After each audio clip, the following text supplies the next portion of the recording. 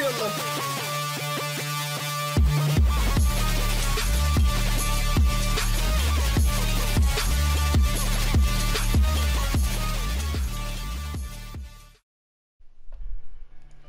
I was actually supposed to record this video like, like uh, like an hour ago, but stuff happened and I got busy. I got like super fucking busy. Uh, but now I'm gonna go ahead and uh, review Dragon Ball Super episode 114, and uh, uh, um, I'm just gonna say that like overall no matter what i say in this episode about maybe like a certain part in the episode that you know that something happened no matter what i say i think the episode was good i had fun watching it it was very enjoyable to watch but there was some stuff that i just wish that kind of just wasn't there and uh, i'll go more into detail in a little bit towards like probably the end of the episode because it's specifically about the fusion of Caulifla and Kale. Uh, you know, it's just, just you know, just that. Uh, but I'm gonna go ahead and point out uh, the animation art style for this episode. It was super fucking good. It was, it was a lot better than I initially, you know, was expecting it to be. Uh, I really wasn't expecting it to be like as good as it was. Like I was watching the episode, and then when the, the beginning of the episode starts off with where I left off last week, uh, last week with Kale going into her, into a berserk form, you could see the animation, the art style, and the shading of like the characters that you're seeing on your screen. It looks fucking fantastic. I was I was genuinely surprised at how how beautiful this episode looked, and obviously, you know, there's the choreography of the episode it's as typical as it could ever be and stuff like that. Like sumitomo's music and art style uh, with like shadings of the characters and just overall the whole episode it, it looked fantastic. The music was enjoyable to, uh, to listen to rather. I was about to say watch but it's listening because it's music. Uh, it was super good. Like like the whole like episode is mainly derivated towards action, especially with kind of the beginning of the episode, like where we were left off last week, with Kale going into her berserker form. And it turns out uh, the kind of whole setup that they were gonna have with Kale going into her berserker form is uh, immediately once she's in there, Goku starts having flashbacks of Kale from like what episode 100, I'm pretty sure um, where she was going like literally berserk all over the arena. The whole time, Caulifla is getting like super fucking excited. She's like, "Wow, Kayla's amazing," and I'm like, "Yeah, but she looks like Broly. and That sucks." so, for new subscribers, I hate Broly. I don't think he's a compelling character. I don't think he's a favorable character whatsoever. I'm just putting that out there, and that's why I don't like Berserker form Kale when she's like completely out of control.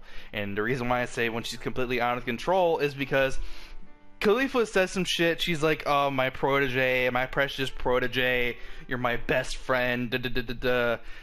There's kind of like this funny shot where Caulifla is like trying to hold hands with Kale. Kale grabs her hand and fucking smushes it in her fucking hand, right?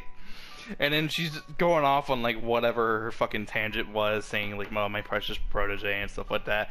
And then Kale takes control of her berserker form. She's finally in control of her berserker form. I'm not completely against that. I feel like it was like kind of teased and set up that she would eventually be able to control her berserker form. And like what is it? Episode episode 101, 101 where she kind of was like in a controlled berserker form, but like it's her Super Saiyan form.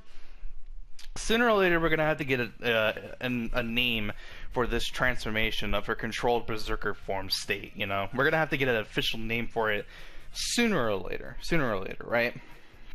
Excuse me, I just got finished eating food, even though it's like 10 o'clock at night. So, uh, the episode, you know, kind of continues on from there. Uh, of course, you know, Vegeta they show off Vegeta and Toppo, they're fighting and stuff like that. And Then they sense Kale. They sense uh, before I just what I just explained happened. They sense you know her her enraged energy. Vegeta's like, is that that Universe Six Saiyan Kale again? Da da da da. Whatever, right?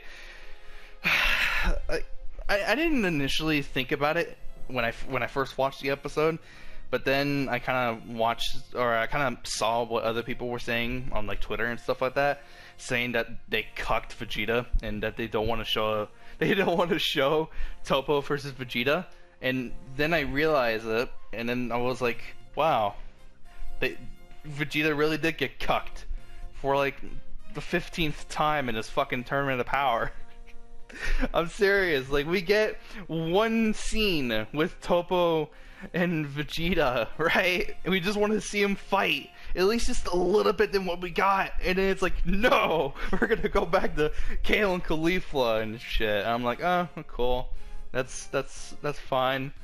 Uh, you know, I'm I'm kind of upset a little bit, but whatever. So, Kale gets her controlled state stuff happens. Uh, they go after Goku, obviously, because now Kale is in her controlled state now. They're holding hands and shit. Uh, they power up. they power up. They go after Goku. Uh, everyone's obviously surprised, you know, the fact that Kale finally got in control of her fucking power now. Her, you know, her fucking humongous power increase and, and all that kind of put them, put them on an edge with Goku. And really quick, I just I, I kind of just want to point this out. I, I just want to point this out. As I was watching the episode, I I, I kind of thought like this whole scene was really fucking retarded. I've been using that word a lot more recently. What's wrong with me? I thought this whole like sequence of events that happened with Goku and Super Saiyan 2, need I remind you? You know, like last week we we completely saw Caulifla get dicked on by Goku in his base form, right? Like it's like yeah, like Caulifla kind of got stronger throughout the whole fight and stuff like that. That I wouldn't say that almost forgives the fact that just by Kale getting her power increase and then Caulifla pretty much just being there, uh, kind of learning how Goku's fighting and stuff like that, forgives how well they were doing against Super Saiyan 2 Goku, who completely dicked on fucking Caulifla in his base form. I just think that's kind of retarded, but whatever. I'm not. I'm not a fucking power scaler. Like I said in the video that I posted uh, earlier today, as the time I'm recording this, which is on Saturday, and you may see this later tonight on Saturday or early tomorrow morning on Sunday, but I'll I'll have to think about it. So they power up and they go after Goku. Stuff happens. They kind of get some really good hits in against Goku and stuff like that. It was actually really enjoyable to watch. Then we see uh, Goku kind of being pushed back into a corner, and he uses the the solar flare, the Taiyoken, and it was. I, I don't know. I kind of had like a smile on my face watching this again because Goku was like, "Yeah, I gotta borrow your technique, Tien," and then he used the Taiyoken. I was like, "Yeah, we haven't seen that since Krillin used it." Like, like like 10 episodes ago. not not 10 episodes ago, like maybe like 15-ish, right? Maybe a little bit more than that, but we haven't seen Solar Flare being used since, you know, since Krillin used it. And I, I think it's always enjoyable seeing like original Dragon Ball techniques and even and even, Dragon Ball Z techniques being used. So Goku uses the Solar Flare. Uh, obviously, he dodges. Uh, Caulifla uh, gets ran into a fucking giant boulder mountain thing, and then Kale goes after Goku, slant, slants him into the wall, right? And I thought, I don't know why, I thought this line was hilarious when I read it in the subtitles on Crunchyroll, right? Uh, she said, Sis was going to hit you. Why did you dodge it?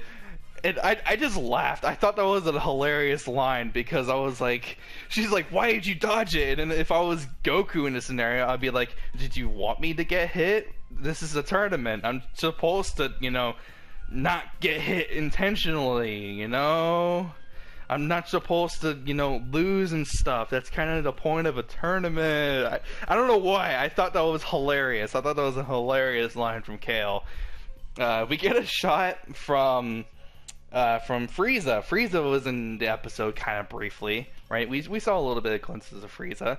He's kind of just standing there, laughing, shooting blast everywhere. We we see a small glimpse of Dyspo, and I thought Dyspo was honestly going to go after Frieza. No, he decides not to go after Frieza because he's like, nah, I can't take on that guy. and then we get one of the Universe 3 guys. I want to say that he's from Universe 3. I think he says he's from Universe 3. He could be from Universe 4 for all I know, but uh, his he says his name is uh, Kot, uh, Koto Pesla. I don't know how to pronounce his name. I apologize for butchering names and stuff as I always do.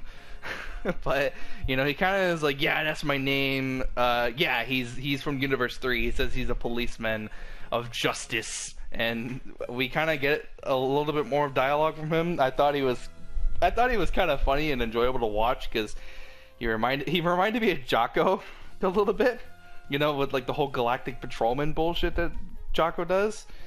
Uh, Kale and uh, Goku come out, right? And they kind of get in, you know, Frieza's way, kind of, because he was going after the fucking dude from Universe 3. Uh, Frieza's saying, you know, whatever bullshit he has to say. Saying, like, ah, I'm not gonna go after that guy, I'm gonna go after those two. Uh, meaning Caulifla and Kale, and then Goku's like, no, these, it's first come, first serve, you bastard. And then I'm just like, yeah, well, I guess that's fair. I guess that's fair. Uh, so the, the fight continues. Um, stuff happens. The fucking Universe 3 guy goes into a different form. Apparently, he's like super fast, and then he kind of just disappears. And Frieza's. like, "Nah, I'm not gonna go after him. I'm not. I'm not gonna deal with this crap right now." Uh, stuff happens. You know, we kind of get a little bit of confrontation with Goku and Frieza, uh, just with typical Go- uh, Goku and Frieza and stuff like that. Uh, Caulifla and Kale power up. They go after Goku stuff happens. Um, and then it goes into an ad slash commercial break. You know, if you're watching it on Fuji TV, um, Kale, uh, not Kale, Caulifla uh, shoots off a bunch of blasts, right? Not at Goku, but like kind of near Goku, uh, causing a whole bunch of smoke screen to, you know, you know, kind of surround him, right?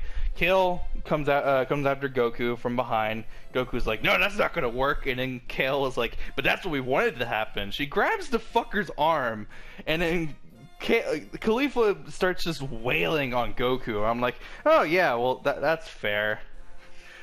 That's I know it's a two on one. I know it's a two on one and it's tag team and stuff like that. But I'm just like, why you gotta be a fucking bastard? why you gotta be a fucking bastard, you motherfucker? Um, of course, Champa is like, yeah, stuff is happening. Da-da. You know, Champa's being Champa uh, Goku uses the instantaneous movement, but I guess that doesn't really matter anymore for some almost dumb reason because now Caulifla can, you know, sense where Goku's gonna be once he uses it. And then there's something else that kind of proved my point that I was talking about earlier in the video, like how Goku in his base form was able to dick on Caulifla and stuff like that. They decided to make Goku go Super Saiyan God. They decided to make Goku go Super Saiyan God. Uh, the Supreme Kaioshin was like, wow, I'm surprised he can do that. He hasn't fully recovered yet. And I'm just like, yeah, that doesn't make any sense either. But either way, I was my point was fucking proven. At least it looked cool though. At least the animation looked really cool though. And then they kind of go off and off and talking about talking about Caulifla and Kale they kind of went off the whole episode, uh, mainly in this episode. I'm, I'm not sure what they're going to be doing next week's episode. They kind of went off on a whole bunch of tangents saying, oh, yeah, together we're the strongest in all the universes. And I'm like, ah, but uh, I want to see you try dealing with Jiren. like like secretly I want to be a power scaler. I'm just not fucking smart enough to do it, so I can't be a power scaler. So uh, Goku is obviously defending himself against Caulifla and Kale. Uh, then Caulifla and Kale start shooting off blasts against each other, and then Goku shoots off, you know, his own individual blast at the both of them. He shoots off two of them. Uh, after actually before he does that, uh, Kale shot a blast um, at Goku, and then Goku actually went through Kale's blast and did like a cooler thing fr- uh, from uh, the uh, Revenge of Cooler movie, uh, if if you remember, uh, when Cooler went through Goku's Kamehameha, Goku essentially did the same thing to Kale and like kind of punched her in the fucking face, and I thought that was awesome. I thought it looked so good because of uh, the animation in the episode, obviously. So then we get to the part where I was just talking about Goku shoots off his own individual blast at Caulifla and Kale. Uh, one of them is following Caulifla, and the other one, uh, Kale is kind of like, you know, trying to throw it back and stuff like that. So, uh, you know, Kale deals with hers. Caulifla dodges hers, but then gets hit uh, from, I'm pretty sure, the one that Kale pretty much threw away. I don't really remember or kind of realized what happened. So, Caulifla gets hit by the attack. At this point, Caulifla, you know, is severely weakened. Uh, she's kind of not bar- she's barely not even able to s- stand up, and it's just like Kale by herself, right? So you know, Caulifla's being Caulifla. She's like, oh yeah, I can I can still fight. Uh, and then and then we got to the part of the episode where I went into it because of last week's previews. Uh, like if you if you didn't know, last week in the previews, I even talked about it last week in my video. They kind of showed in the previews that Caulifla and Kale were gonna fuse, and initially I was like, yeah, it looks cool. At least like fusion is back again, but then it went against the rules that were set up. And my point was is that I see Potara, uh, the Potara earrings as a source of weaponry. Now you can't hurt someone with like a physical earring. Of course, you you can't really do that with the Potara. But it's the fact that two people can gain an unfair advantage against others just by simply using the Potara earrings, and I didn't like that.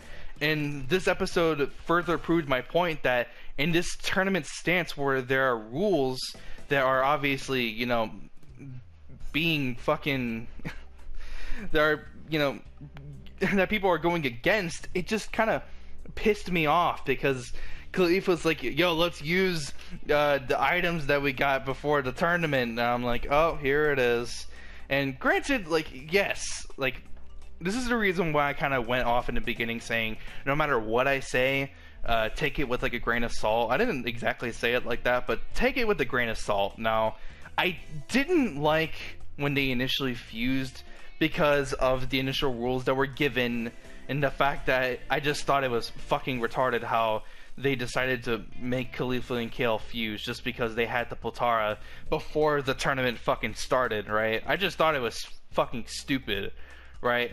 No, let me just say this. I like the fusion. I like Caulifla and Kale. I think they're fun characters, and this entire time, with like Cabba and Caulifla and Kale and stuff like that, they've been teasing, you know, a Planet Sadala arc, and I'm all for it. It's just that if they had done a Caulifla and Kale fusion any other time in the series, either it being for some reason before the Tournament of Power or after the Tournament of Power, I would have been all for this. I would have loved it. But simply because of the fact that they completely went against the rules in my opinion, with you know weaponry in the Tournament of power, it just pissed me off. It just pissed me off. I went on a rant on Twitter saying how much I thought this was fucking stupid. And I say I went off on a rant on Twitter, and if you go on my account, you see no tweets about it. Uh, that's like my main Twitter account that I have specifically just to like videos, you know, tell people uh, that like yeah, a video just got posted and like playlist updates and stuff stuff like that for like Dragon Ball Super and Boruto. But I have other accounts that I use to you know communicate with the community with. Uh, just my personal opinion, you know. But you know, I kind of went off on a rant about it, saying how much I didn't like it. Uh, I saw someone say on uh, one of the accounts saying that the episode was orgasmic. And although I agreed and said, like, yeah, it looked amazing in terms of animation, Sumitomo's music was fantastic, and it was fun to watch, I didn't like the fusion. I thought it was fucking stupid. But whatever. Like I said, take what I just said with a grain of salt. If you hate my opinion, go ahead and hate my opinion. I respect yours as much as I respect mine. Everyone has their own opinion, but you know, I, I kind of just wish they didn't fucking do it right in the middle of determining the Power. I just think that's fucking stupid. But with that, uh, oh yeah, I forgot to mention that the fusion between Kale and Caulifla is Kalefla, and I don't really like the name all too much because it's like, like I, I was hearing people saying like Kefla and stuff like that, or like they're like kind of K Kefla, like Kefla, like that, and then uh, I don't know. At this point, I'm just trying to fucking have some sort of way to kind of, you know, make the video not longer, but kind of just, you know, kind of give off more about the episode than what I initially had for the ending of the episode besides that. But the episode ends off with Kale Flug doing like a right hook against Super Saiyan God Goku, because apparently she's faster than Super Saiyan God Goku. Completely fucking blitzes the motherfucker. Uh, just maybe that's due because he's not completely at full strength, but whatever, right? I think I'm gonna go ahead and talk about the previews uh, really quick because I think that's bullshit as well. And power scalers are gonna have a fucking field trip about this, and that's that Super Saiyan Kaofla is supposedly stronger than Super Saiyan Blue Kaioken Goku. Because in the episode previews, it says Goku versus Kaofla, Super Saiyan Blue defeated something like that, and I'm just like, can can they not like make this fusion bullshit like super overpowered? Like what I what I'm honestly I'm gonna go ahead and be a prognosticator and say that Kaofla is going is going to eliminate Goku, right? But then the Grand Priest is uh, is going to step in and he's going to be like, Potara is against the rules. Kaofla is eliminated, therefore Goku is then allowed back into the tournament. I think they're gonna do what they did back in like the the Universe Six tournament arc, where they found out they found out that Frost was cheating with like poison needles and like his body and stuff like that, and because of that, Goku was able to go back into the tournament and participate. I think they're gonna do the same thing. I'm gonna be I'm gonna go ahead and prognosticate it and say that I'm, I'm gonna go ahead and predict that that's that's what's gonna happen. I want people to come back to this video. I want people to come back to this video and when that happens, or if that happens, I want people to come back to this video and just leave in the comments saying like, "Oh, you fucking called it! Holy shit!" I don't know. I, I think I think that's gonna be uh, a hilarious way to kind of bring Goku back into the tournament. Um, you know, if he gets eliminated, uh, or if stuff goes like the way I think it's going to. But whatever. That's the end of the episode. That's all the previews. That's everything I had to talk about. Uh, I can go on and on and saying and say how much I think that power scaling is fucking bullshit in this fucking series. But honestly, I'm just not that good of a power scaler to really tell you like, oh, so person is this strong. I, I just can't do it because there's a lot of math and science involved, and I don't really want to bother with it. But whatever. If you guys enjoyed the video, be sure to drop a like. If you're new to the channel, please consider hitting that subscribe button for future content just like this. I hope you guys are having a fantastic day. I'll see you guys in the next video, and I'm out.